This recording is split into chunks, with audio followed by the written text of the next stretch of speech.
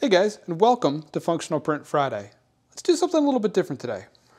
All right, so I got into 3D printing about five years ago, and in those five years I've picked up some good tricks um, along the way. Some I figured out on my own, some from other people, on uh, how to post-process and repair prints and some good tools to use. So that's what we're gonna do today. We're gonna focus on the tools of the trade, the things that you need uh, to make your parts once they come out of the printer um, have the right fit and finish. Not going to focus so much on the really the finish part. This isn't about making the parts pretty, although, I mean, you know, form is important, right? And that form should be well executed. And if you maybe have a couple minor issues with surface finish or something like that in a print that are otherwise going to stand out and take away from the function, it is nice to clean those up. So, all right, let's make some room on the bench. I don't know who made this mess. All right, perfect. Let's make a new mess.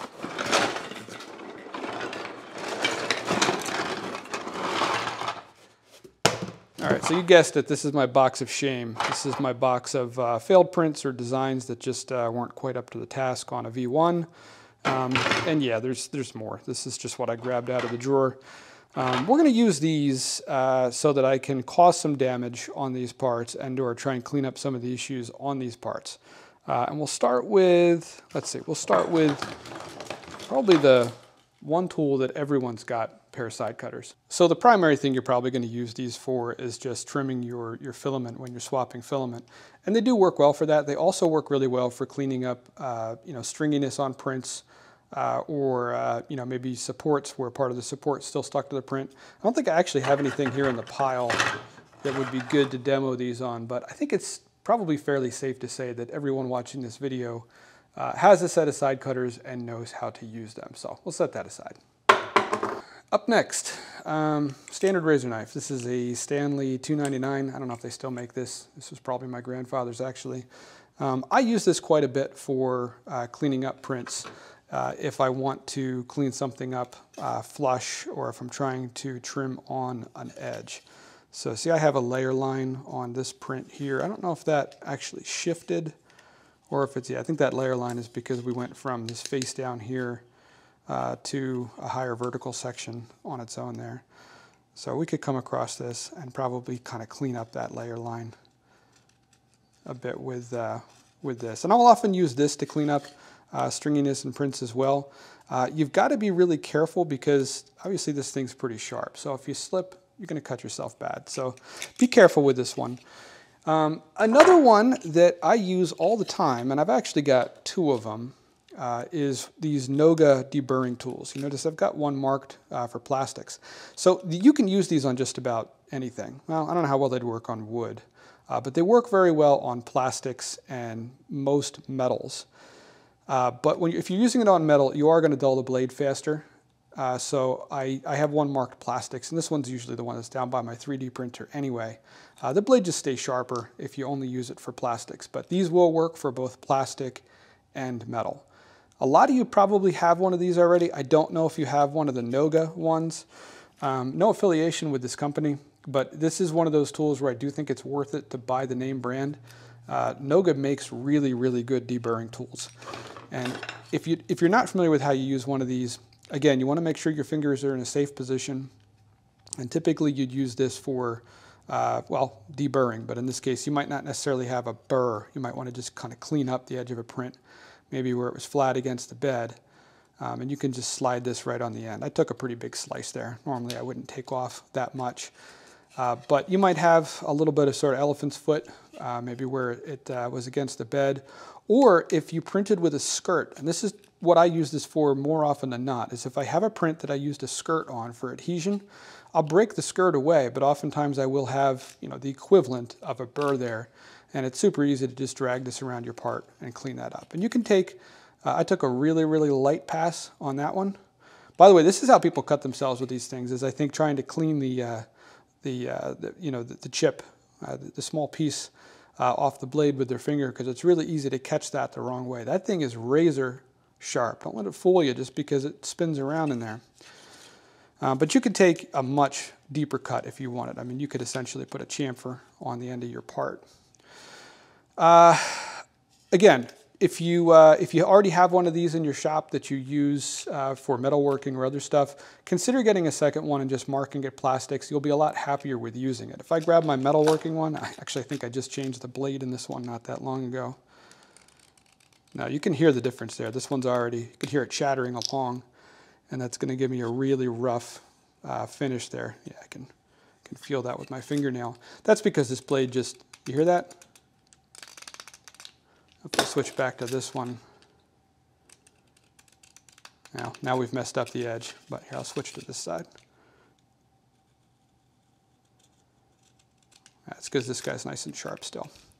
So great tool to have. Um, by the way, I'm going to link all these down in the description of this video. They are going to be affiliate links. Uh, what does that mean? It, it's not going to cost you any different. If you click that link and buy it on Amazon, it's going to cost you the same as if you searched for the item and, buy, and bought it on Amazon. The only difference is I get a couple pennies because I sent you there. So if you do buy anything you see in this video, cool, thanks. If not, that's fine too. Um, all right, let's set these guys aside. I'm going to show you another deburring tool that a lot of people I don't think know about uh, or realize is, is around. So these holes might, that's my plastics one, yeah. So these holes aren't too yeah, these are getting there where these holes are a bit tight for this deburring tool to get in there. I can, yeah, I can do it. These are, that's, this is about the limit, this size hole. Anything smaller than this, it's really hard to get the tool in there to deburr. Even if it physically fits, even if this end fits in there, you can't get the angle, the, the correct angle on the tool uh, to deburr that hole. But Noga does make a different style of deburring tool. Uh, this just goes in there and then you rotate like this. And that'll clean that up really nice. If you keep pushing, you're going get a nice chamfer like that. If you just want to kind of take the burr off, or this is the piece that would be flat against the bed. So if this was a hole that had a really tight clearance, it's probably a little bit tighter down here where it was against the bed and that plastic had room to expand. Um, well, not room to expand, but that was probably squished more on that first layer uh, than the rest of your hole. So not only can we put a nice little chamfer on this, we can open that up just like that. That also gives you a really nice finish and I don't have two of these. Uh, I have historically just used the same one that I have for metal. It's been okay. Ideally, you'd have one of these for plastics too, and then you know one for steel. But I think just the way that this tool gets used, uh, it's not so bad if it's not sharp. It just it doesn't seem to chatter in the holes. All right, what's next? Um, scraper. This is probably another one that most people have. Uh, this is typically what you would use to separate a print from the bed. Now, I don't have my print bed out here.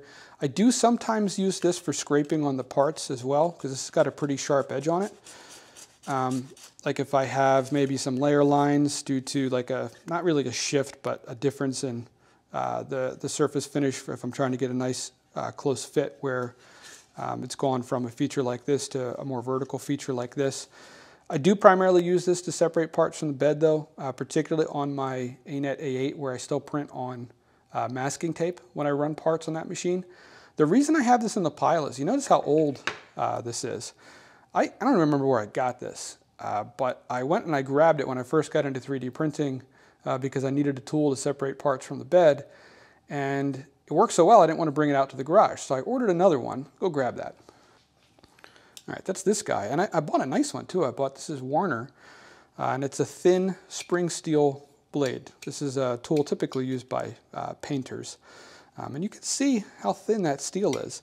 It still was not as good as this one. I don't know if it's the, the quality of the steel is just better on this one or if it's because it's worn so thin from years of use.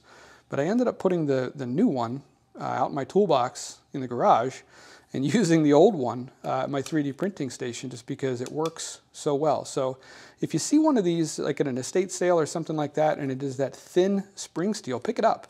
The quality of the steel and the wear on the blade might make it better uh, for use in your 3D printing station than just going out and buying a new one.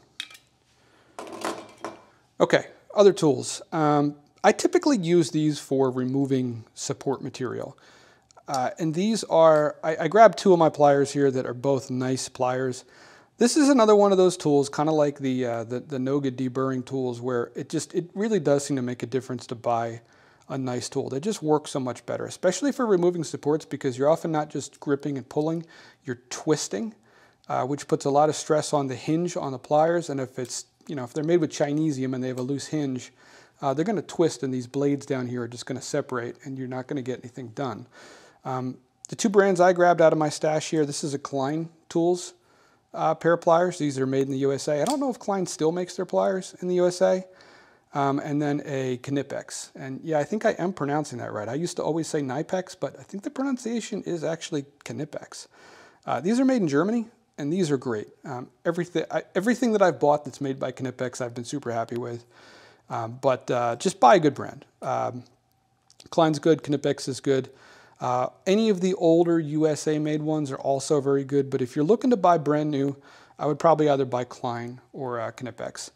And again, these are, I, I, don't know that I have, well, okay, let's actually, let's say that this is infill, not support material, but if I was trying to remove this, I might plunge in and then twist. And that twisting action puts a lot of torque uh, on these blades here. And these two, uh, these two quality ones will hold up to that, and I can break those supports off without these ends twisting up, and they do return back to center. It's just, you know, quality of material that are used in these.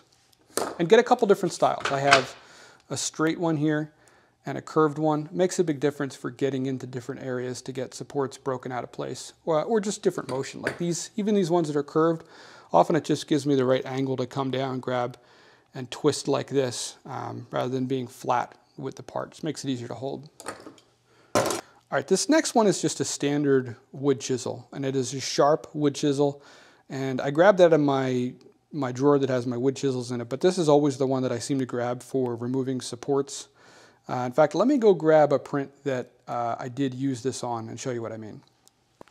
All right, here's one of the table covers from my milling machine that I made a couple videos back. Uh, just, or part of it anyway. This interlocks with some other pieces. Uh, but if I flip this guy over, you can see I've got a section here. You can see that this is the part that was actually on the printing bed as well as this edge here. Um, and then a recess section uh, that goes against the actual table on the milling machine. This fits into the table, it keys in, and then this goes over the edge of the table, this edge part. Yeah, there's a couple of other ways I could have oriented this and printed it and maybe even designed it that I didn't have all of this, um, uh, this material here to remove, all of these supports. But I wanted this to sit very true and flat on the table, so I just kind of sucked it up and knew I was going to have a lot of material to remove. Uh, the way I got this off was I started with the pliers, um, and I broke as much material off as I could. And then when I got down towards the end, I cleaned it up with a chisel. So just, I'm not using a hammer, nothing like that. You're just doing it with your hand. Make sure your, you know, your thumb, anything's out of the way, and you're just gonna glide this along, and it'll catch any of those raised spots and take them right off. And, you know, obviously you want a sharp chisel for this. Uh, a chisel that's not sharp is just gonna hang up in the, in the part and not go anywhere. And if you're not, if you've never used a chisel on wood before, you're not coming in at a really steep angle like this. You're coming in at a really flat angle like that. So you're only biting on the stuff, almost, you're almost flat against the material. You're just raised up a little bit. You're just biting on the stuff that is raised. So great tool for that. All right, uh, these two tools I often use for uh, you know, I don't actually use these that much in finished parts. I'll often use these when I'm prototyping. When I'm on, say, a version one of a print, it's close to fitting, but it doesn't quite fit. And maybe it slips inside of something or something like that. And I want to remove some material from the print so that I can figure out exactly what my fit should be and then get a measurement on it um, and then do a revision based on that. I do sometimes, if it's not a part of the, the, the print that you're going to see once it's installed, I will clean up a part with this or I will relieve a little bit of a part with these two tools um, and actually use that one in production. Again, as long, as long as it's not a surface that you're going to see. So let's say, uh, I don't know, what's a good example here? Maybe, gosh, I don't know. Let's say that this surface back here um, I think this actually, this is from my RC um, uh, camera uh, mount that goes on top of my Traxxas TRX. Uh, that's also a past video uh, to check out. There's a camera that mounts in here uh, and then a uh, VTX sending unit in here that transmits to a pair of goggles. So you can basically drive it remote. Anyway, this part here slipped under the roll cage, but let's say it was just too tight to slip under the roll cage and I wanted to relieve this a bit. I wanted to remove some material from this. Well, depending on how much material I want to remove, um, these are probably the one of, one of these tools is probably the one that I would grab. This is a standard metal file. Uh, it's not going to be super aggressive on the part. It's not going to take off a ton of material in one shot. It's going to take off more than sandpaper, um, but it's not going to take off as much as this guy. This is a wood rasp, uh, or just a rasp. I guess you could use this on metal as well, although I've typically used these on, you know what, actually I take that back. This is not a wood rasp.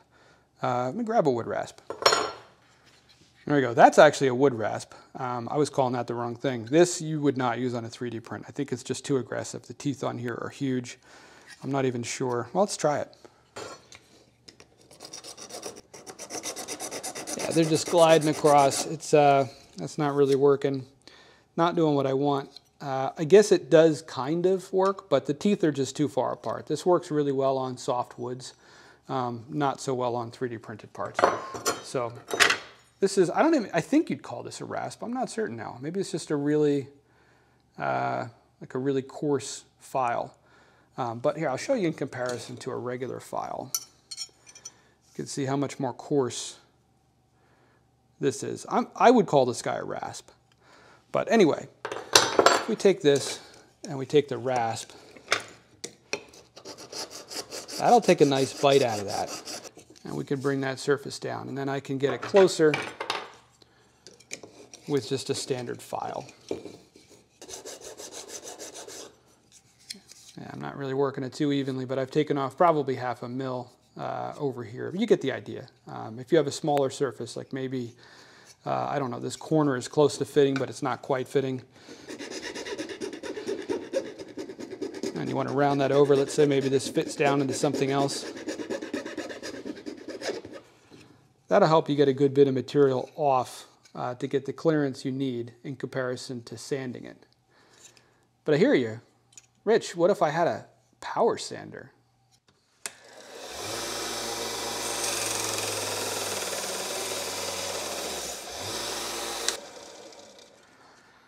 What a delightful smell. PLA kind of smells like uh, French fries almost uh, when you heat it up. And that, that's what's going on here. Um, rather than sand this, uh, the friction just built up heat and it just started to melt it apart. This warped a bit.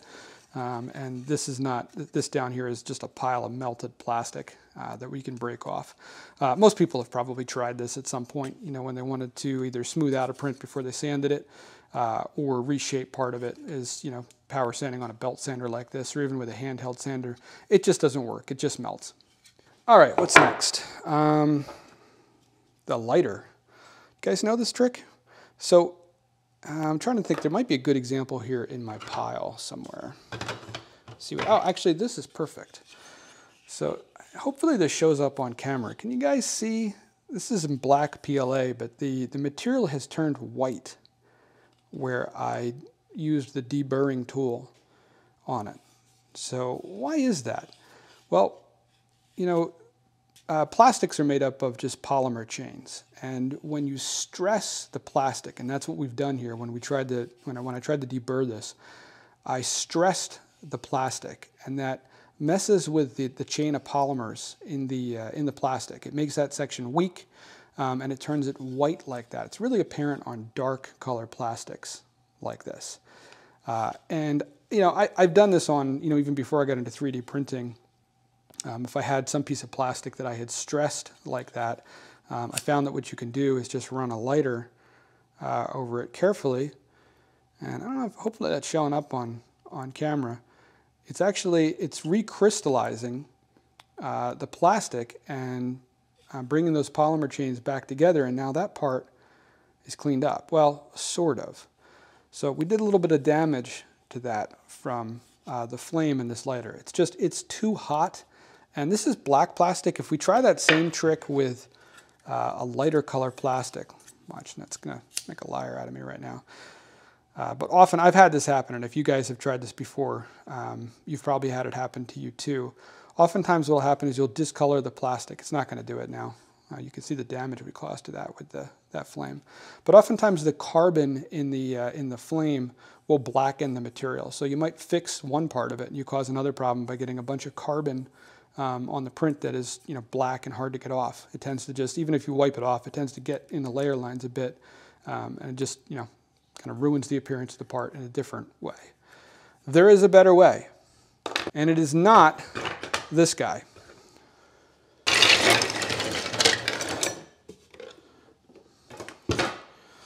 What the heck is this? This is kind of an unlikely tool. I didn't buy this for this purpose. I stumbled upon this accidentally. This is a hot air rework station. It's actually for doing electronics work. Let me get this plugged in. All right, so if I flip this guy on, uh, nothing's gonna happen at first because it is sort of in a paused state when this is on the cradle. But this is like, it's kind of like a, a, hot air gun uh, on steroids because it has very tight temperature control um, a much smaller nozzle that the air comes out of than your typical heat gun, like one of these guys. And I'll show you why you wouldn't want to use one of these guys uh, as well. Um, here's the, just for size comparison, because uh, a lot of people do own these. This is for like stripping paint. Uh, but this guy's much smaller and has really, really tight temperature control because it's for electronics usage. It's for heating up parts, uh, including the solder, and then being able to lift those parts off of a circuit board. But it does so much more. Um, in fact, I use this more for 3D printing than I do for anything else. So I really went to town on this and tried to make a mess out of it. You can see all of the stress marks there on the, uh, on the plastic. Um, really, really chattered that guy up there. Again, just to prove a point here. And I even took a chunk out of the end over here. We'll get to that.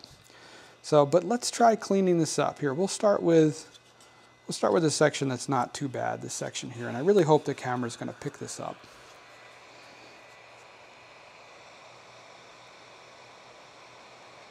Look at that. It's like I'm airbrushing black paint on there. It cleans it up so nicely.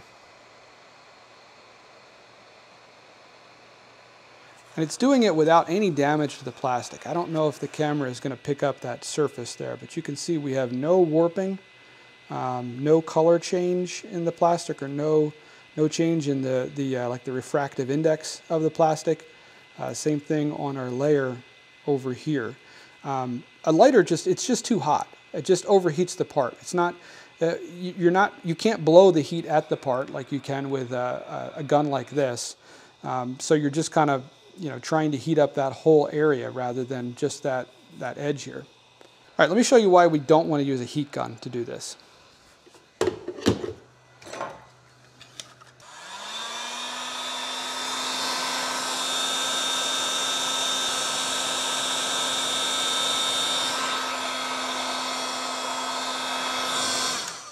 So in just the amount of time it takes me to, uh, to get that edge hot enough um, uh, to clean up the stress, you can see we've overheated the, uh, the whole part, uh, this entire thing.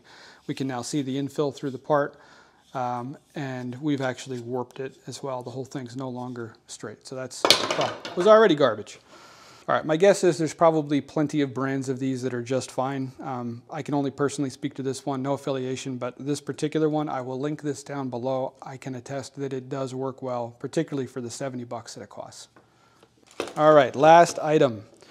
This is really kind of a kid's toy. This is one of those 3D pens, and uh, I know a lot of other folks have, uh, have covered this. Um, I find that this does not work as well as a lot of other people would lead you to believe, and I don't know, maybe they have nicer 3D pens. Uh, but I have used this in a pinch to clean stuff up. Let me get this plugged in.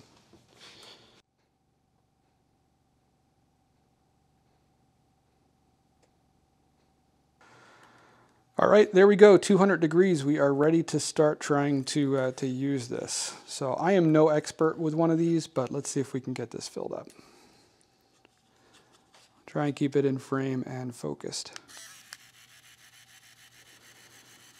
That is way too fast. All right, I had the feed wrong on that one. I tried to fix this one. Let's, uh, let's take another piece and cause ourselves some, some damage here uh, to try and fix. Okay, can you guys see what I did there? See, so we're all the way through to the, uh, the infill here, so we're, we're to the hollow part of the, the print. Um, so this is not only a cosmetic issue, but it's also a structural issue, as we don't want this guy to, to separate. So let's see if we can fix this.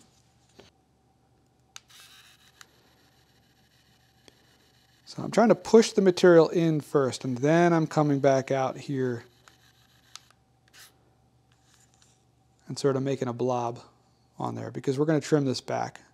But I want to make sure we have enough material to work with. So let's let this cool. All right, I probably put way more material on here than we need. I'm gonna start with the side cutters and see if we can trim uh, some of this excess back.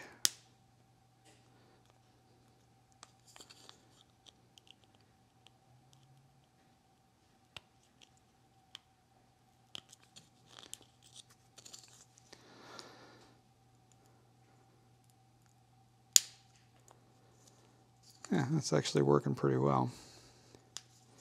Up. See, and there's the problem. So even though I was feeding fairly fast with this guy and getting heat into it, uh, it still came off. Uh, I, I'm not sold on using these to repair parts. I think it works fine for cosmetic repairs on parts. Like if you have, you know, a three day long print uh, that just had issues in a couple spots, maybe where you pulled the supports off and had something, you know, I don't know, figurine or whatever. We just, we don't do stuff like that on this channel. Um, I think it's a viable solution, but for parts that you need strength in, it just, I, I've not had good luck with it. I mean, I really thought that guy was bonded in there pretty well. I even tried to feed it into there and you saw it came off. Yeah, I could have been more gentle with it. I'm using side cutters. I probably could have, um, you know, sat here for half an hour and sanded that guy back down smooth. But if it comes off with a pair of side cutters, uh, it's not going to have any structural uh, integrity in this part. It's not going to add anything to the part. It's just making it pretty.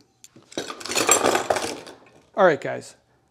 Tell me down in the comments, what's the stuff you're using? What are the tools that you've discovered in you know, your 3D printing workflow over the course of the time that you've been in the hobby that work for you? What, what's the cool stuff that you're doing that maybe I don't know about, that maybe other folks that are watching this video don't know about? Um, get down there in the comments, uh, read what other people are saying, and please tell me what tools and just you know other cool things that you're doing to post-process your prints um, that might not be common knowledge. Guys, thanks for hanging out with me in the garage this week. I normally do functional prints on this channel. Uh, did something a bit different this week, uh, but if you're into that sort of thing, uh, consider hitting the subscribe button. I do a new video on a functional print uh, every single Friday. And if you enjoyed this video, hit that like button. Really helps out the channel. And guys, if you do choose to subscribe, I'll see you next Friday.